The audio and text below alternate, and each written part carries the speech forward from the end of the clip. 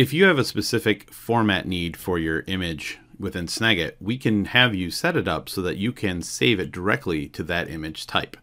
For example, in a capture window, if we use either the all-in-one or image tab, one of the options is the share destination right here in the capture window. If you go to the drop-down menu and select File, the gear icon will show up and will allow you to choose to ask for the file type or automatically name the file, so on and so forth. If you go into the Image tab and use the Share Destination and choose File, the gear icon will reveal another drop-down menu that lets you choose the type of image you'd like to save. Perhaps it's PNG or maybe JPEG.